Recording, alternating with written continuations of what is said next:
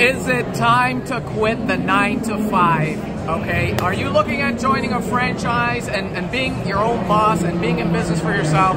Well, I'm here with Adele Young of Bee Pampered, founder and CEO. Adele, tell us, what is Bee Pampered?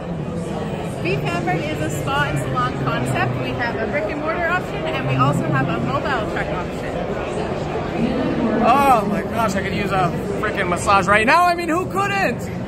Adele, who is the ideal candidate to start a Bee Pampered franchise? Anybody that wants to quit their 9 to 5 and take charge of their lives and create their own reality.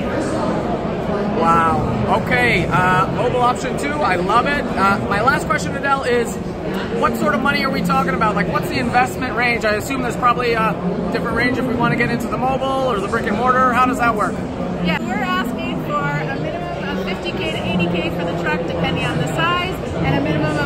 120K for the brick and mortar, and that gets you 750 square foot space. Hello, 50K and you're already in business. I love it. Um, listen, if you have any questions, if you have any comments, uh, if you want to know more information, I mean, we've got the founder and CEO here. We will get back to you. Comment below. Sales King out.